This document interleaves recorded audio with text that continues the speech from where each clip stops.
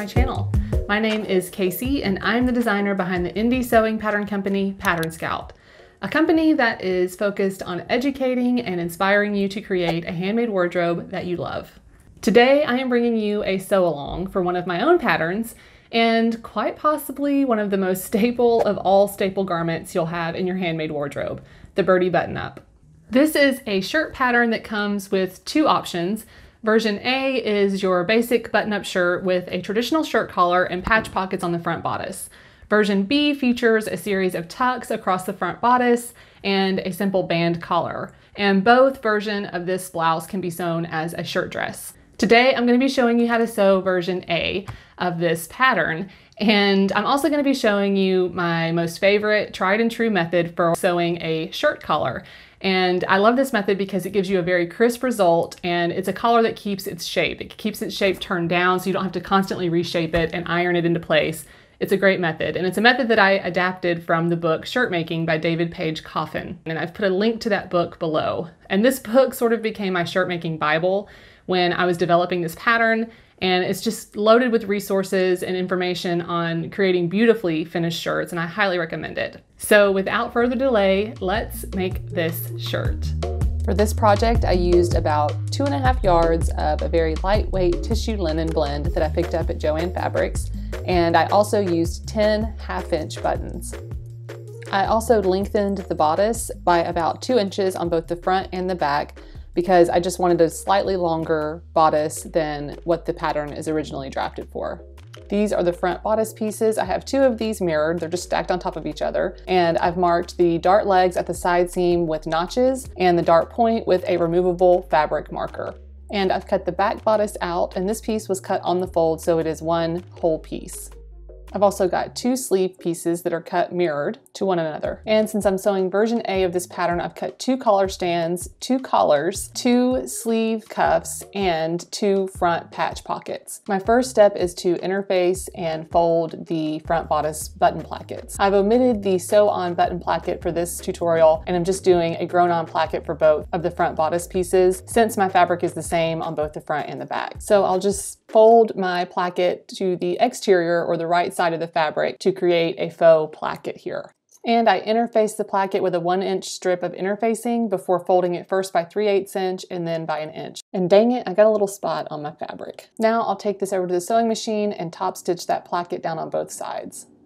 I'm using a very narrow edge stitch here to top stitch both sides of that fold in place and make it look like a sewn on button placket.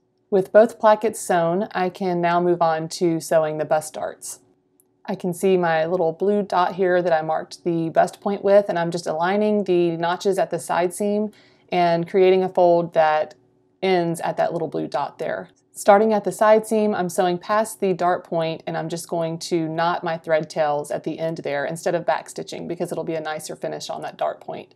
And then I'll just trim those threads. And I'll press my darts downward on both bodice pieces.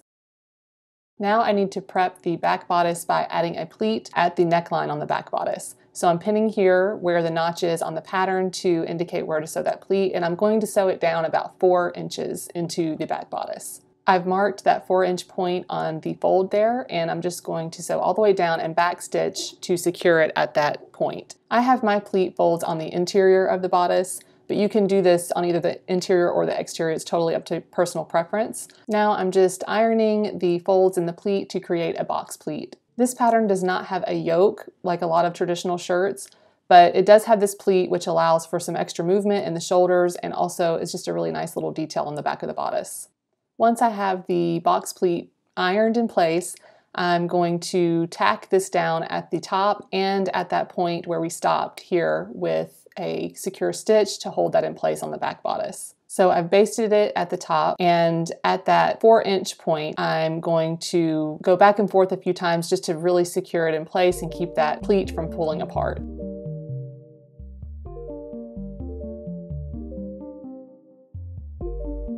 And here's how that looks from the exterior and on the interior.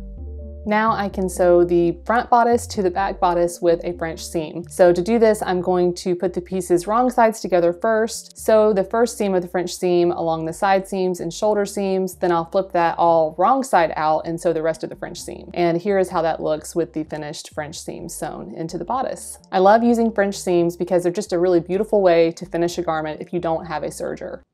Oh hey, and now you can try on your bodice. Yeah! Now we can attach the sleeves. So we are going to sew a couple of basting stitches along the sleeve cap between the notches for the front and the back of the sleeve. And this is just so that we can gather the top of the sleeve a little bit to make it a little bit easier to set into the armscye of the bodice. And you just want to gather it enough to kind of curve the top of that sleeve cap over. And then we're going to fold the sleeve in half, wrong sides together, and also sew a French seam in this sleeve as well. So first I'll sew it wrong sides together, then I'll flip it wrong side out and sew it right sides together to complete that seam before attaching it to the bodice. Now turn the bodice inside out, so the wrong side is facing out, and then take your sleeve and turn it right side out. And we're going to insert this into the bodice and align it with the armscye. The notches at the sleeve cap to ensure that you're aligning the single notch with the front of the bodice and the double notches with the back of the bodice. And your sleeves should be right sides together with the bodice while you're doing this. I like to align the bottom of the sleeve with the side seam before aligning the notches of the sleeve and the sleeve cap and then working to evenly distribute that sleeve cap along the top of the armscye of the bodice. And don't be afraid to use a lot of pins for this step and make sure that you get everything evenly distributed. You're gonna notice that you have a little bit of waviness in the sleeve cap here, but that's okay. It'll all kind of even out once you sew it to the bodice. Now that we have everything pinned in place, we can attach the sleeve to the bodice. And I'm not doing a French seam on the sleeve attachment because I always feel like French seams are just really uncomfortable in the sleeve cap and armscye. So I'll be sewing this on the machine first just to make sure that everything is nicely distributed from the cap to the bodice, and then I'll take it over to the serger and finish off that raw edge. I'm moving pretty slowly around this armscye and sleeve cap just to make sure that I get everything nicely distributed.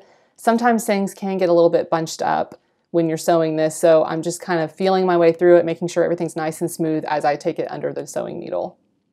If you do happen to get a few bunches in your sleeve cap, like I did here, it is okay. Just undo a couple of the stitches and see if you can't kind of wiggle that little wrinkle out of the seam allowance there. And then you can just go back in and resew that one area. And if you only have a couple of little wrinkles like this, you should be able to fix it pretty easily and not have to completely take off the sleeve and reset it.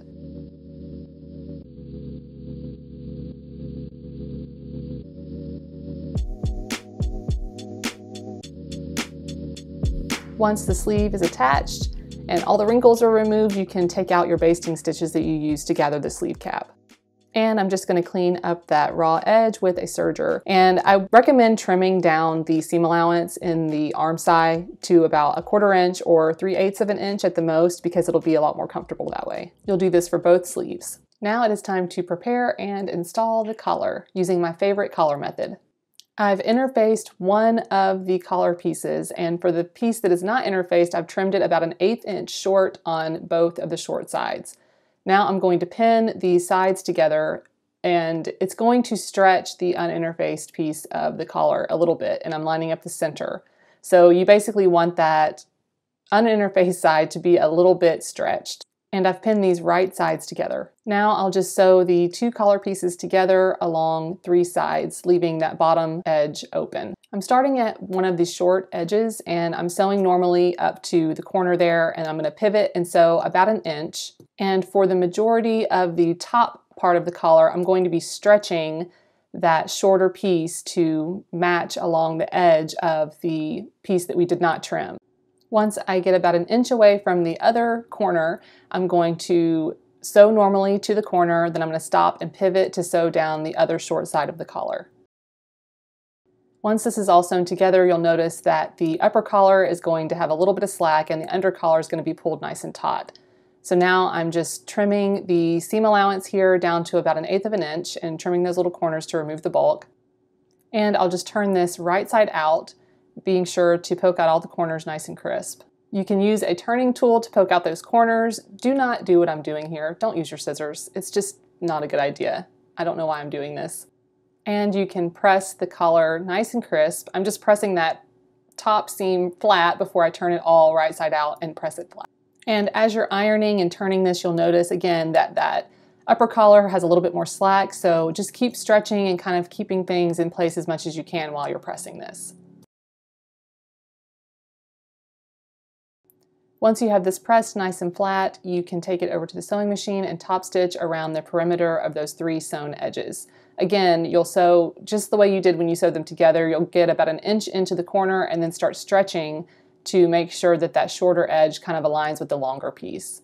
And then do the same to sew normally down the shorter side of the collar here to finish. And I'm having some trouble getting it through my machine. Now I can start adding a little shaping to this collar. I've got the interface side of the collar on the ironing board and the taut side is facing me and I'm just going to iron in a fold that is about 5 8 inch along the entire raw edge of the collar here and I'm using my seam gauge to make sure that I get that at 5 8 inch across the entire thing. I'm also kind of pulling the upper collar around to the side of the fold to try to keep those those raw edges aligned as much as possible. They're not going to be perfect, but just do as best you can because you really kind of want to pull this into place and get a nice fold pressed in that collar. We're basically just shaping this so that that taut side is going to pull the upper collar around to the right side when it's folded. Now I'm just going to sew that seam allowance in place as close to that fold as I can on the sewing machine. This is just going to kind of keep that fold in place. And I'm using my tailor's ham here to shape that collar just a little bit more and give it a nice curve around the neck.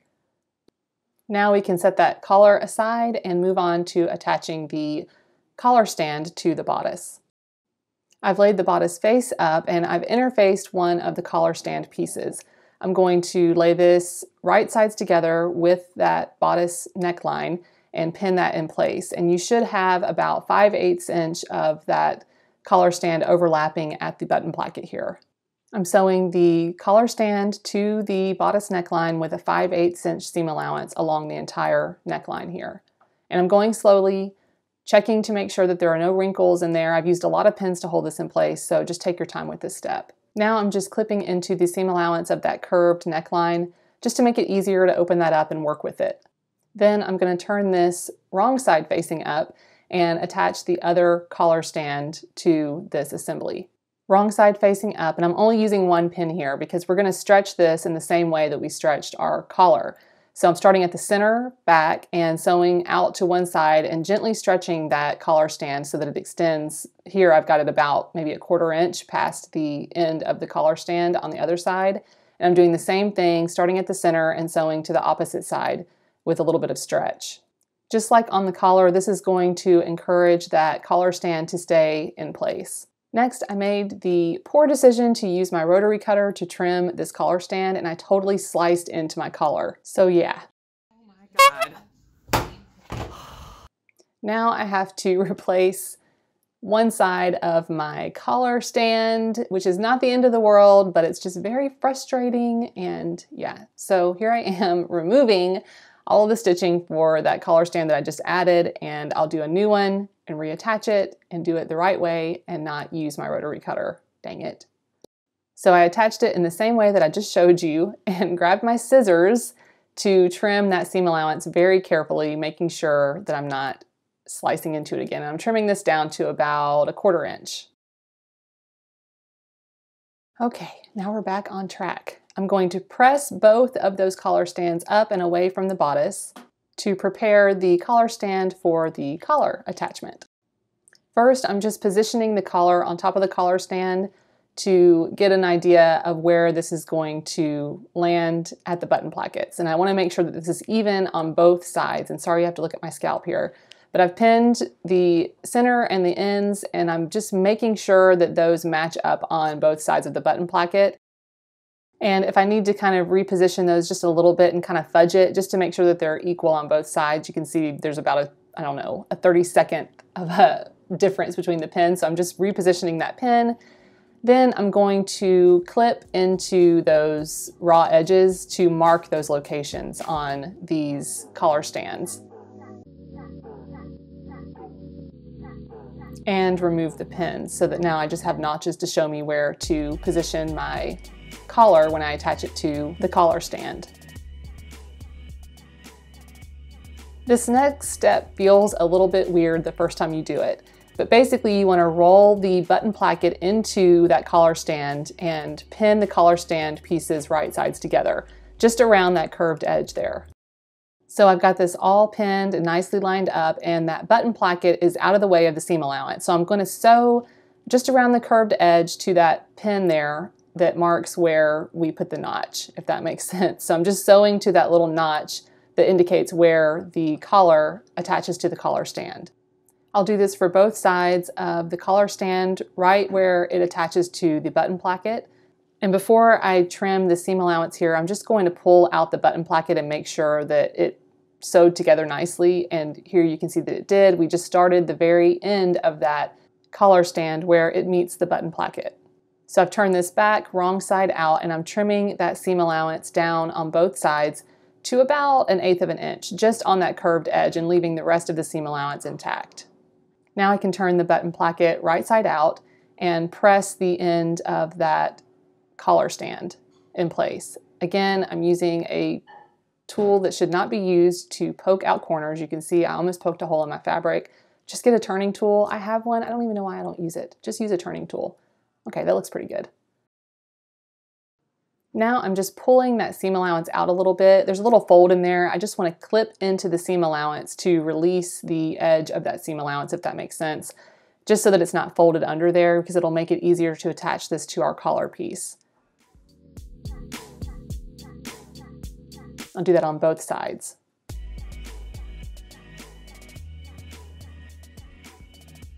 I've laid the bodice face down so that the interior of the bodice is facing me and I'm going to align that collar with the collar stand on the interior.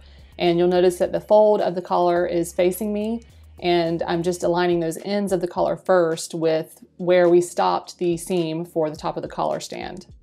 Once I like the position of that, I'm going to continue pinning the collar to the collar stand along the entire length of the collar stand, making sure to evenly distribute the raw edge of the collar stand with the raw edge of the collar. And now I'm just gonna sew these pieces together with a 5 8 inch seam allowance, getting pretty much right in the center of that fold along the entire distance. And you may have to kind of stretch this and ease it into place a little bit since we did a little stretching of the under collar and the under collar stand. So just take your time with this step to make sure you get it all nicely attached. And you can start to see how that collar is going to flip into the collar stand.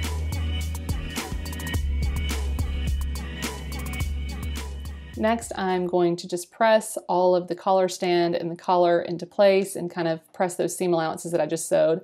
And I'm going to fold down the exterior collar stand so that I can start to conceal those raw edges inside the collar stand.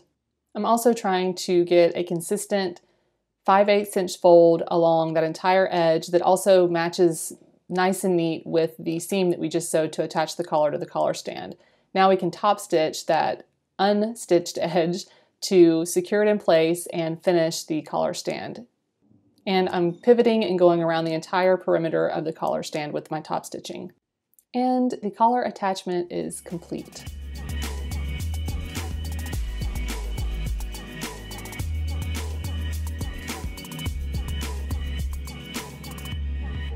Now I can do some final ironing and shaping of the collar. It should fold pretty naturally into place since we pressed that fold in the beginning when we were constructing the collar. So you can see here, it's just so nice and crisp. So satisfying.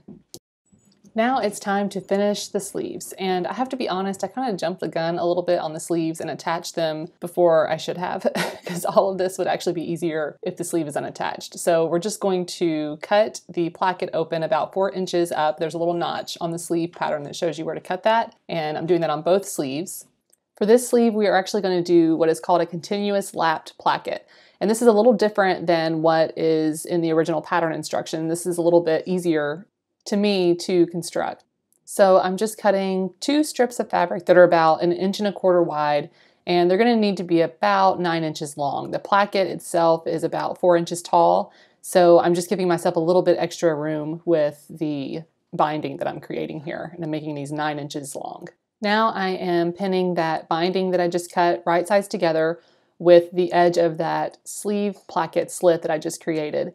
And when I reach the center apex of that slit opening, I'm just giving myself a little bit of a gap there between the edge of the binding and that sleeve opening about a quarter inch so that it just tapers to the end. And you can see that a little bit better here. Now I'm sewing this with a quarter inch seam allowance and that seam allowance is going to get right next to that apex corner there where we kind of backed off the placket. Now I'm going to press the binding away from the sleeve and make sure that all the seam allowance is pressed into the placket and I'm going to fold that placket twice basically to just create a binding that conceals all of the raw edges of the seam allowance, which you can see here.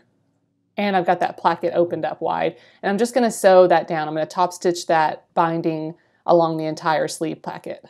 I'm doing this with an edge stitch that goes right along the very edge as close as I can get it to the edge of that binding. And with the binding secured in place, you can see how that looks on the placket opening, and that's pretty easy to sew. I'm going to trim that end there. Now I just want to fold that placket in half toward the interior of the sleeve. I'm on the interior of the sleeve right now, and I'm going to stitch that fold down at the top there, just to kind of keep that tacked toward the inside of the sleeve. Now we can prepare the sleeve cuffs. I have two sleeve cuffs. I've pressed them in half lengthwise, and I've interfaced one half on the edge of that fold there. Now I'm going to press a 5 8 inch fold in the interfaced side of the sleeve cuff toward the wrong side. So back to our sleeve, I've got the garment turned right side out and with the garment face down, so the front of the garment is face down, I'm just going to tack that top tower leg of the placket down to the sleeve hem. And this is just going to be how it naturally wants to fall when you button the sleeve cuff later. So I'm just gonna go ahead and tack that in place before I attach it to the sleeve cuff. And it's basically just the side that's on top. Now I'll attach that sleeve cuff right sides together with the raw end of the sleeve. And I'm letting the sleeve cuff extend about 5 8 inch past the placket legs on either side. Now the sleeve hem length is a little bit shorter than the cuff length, and that is because we're gonna put a pleat in the sleeve hem. So I'm making sure to pin this flat all the way up to that hem on the shorter side. And then when I get closer to the other side, I'm just gonna put that pleat in there with the top fold facing toward the placket on the exterior side, which you can see there. And there are notches on the pattern piece that show you where to do this. I always eyeball it. And I'll sew that cuff to the end of the sleeve with a 5 8 inch seam allowance all the way around. Then I'll just trim that seam allowance down to about an eighth of an inch to remove bulk. Next, I'll press that cuff away from the sleeve, making sure that the seam allowance is pressed toward the cuff.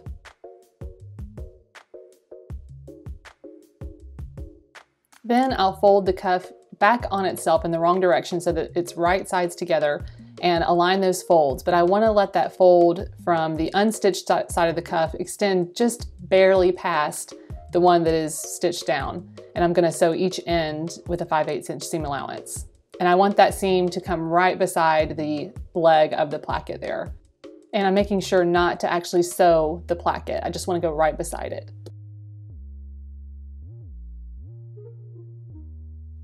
Then I will trim that seam allowance down to about a quarter inch and kind of clip the corner just to remove the bulk there.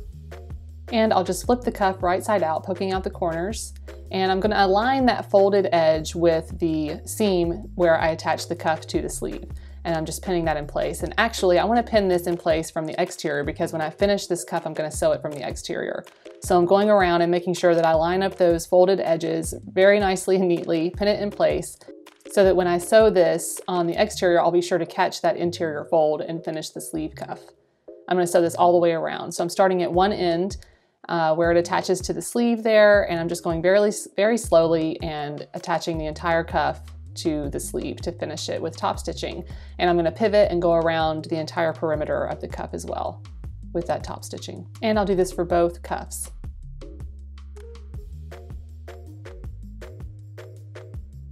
And the cuffs are now finished and they just look so nice and neat. And there's that pleat. And we're finally to the finishing touches. We just have to hem this thing and put some buttons on. So to hem it, I did first a quarter inch fold around the entire curved hem of the blouse and I'm stitching that down first before I do a second fold, again at a quarter inch, and then I'll hem that down as well. And the reason I'm doing this in two stages is because sometimes it's really tough to get around those curves and I find that doing this double stitched hem fold is just a lot easier and it comes out a lot cleaner. So now we have a quarter inch tiny hem in the bottom of the shirt. Now we just have to add buttons and buttonholes. And I'm gonna try to cover this little spot that I have on my placket here. I'm gonna use that as the placement for my first button. So I'm just lining that up. And I'm gonna sew my buttonholes on the right side of the blouse when worn. So I placed a pin there that lines up where that hole was. And I'll put a pin every three inches or so to locate where I want to put those buttonholes. I'm using my buttonhole foot here and I'm first going to sew a buttonhole in the collar stand here and then I'll just go through and stitch a vertical buttonhole where each of those pins is and I'm just using the pin as the center point of the buttonhole and removing the pins as I go. Every machine is just a little bit different with how it sews buttonholes if you're not sure how to do it on your machine, I've said this before, but definitely check your owner's manual. Those are actually really helpful and they're great for learning how to do a buttonhole function.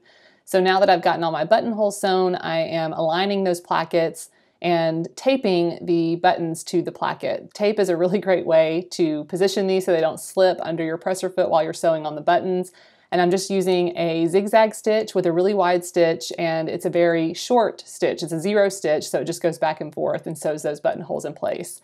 And once I finish I can just take the tape off and it comes off really easily. I'm also putting buttons and buttonholes in the sleeve cuffs. The only thing left to do is to attach the pockets, which I'm sorry I forgot to film. So we're done, except the pockets.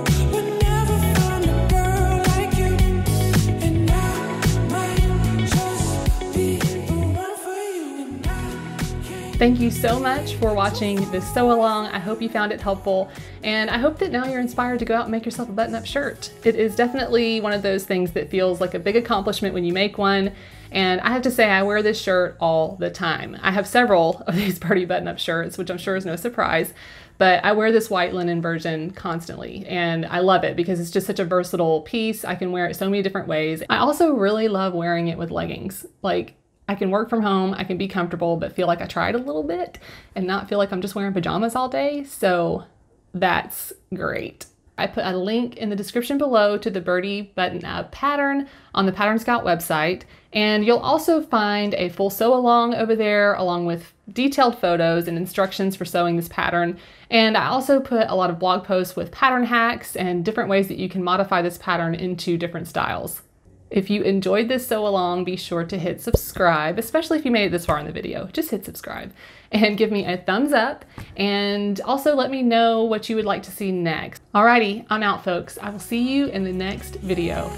Bye.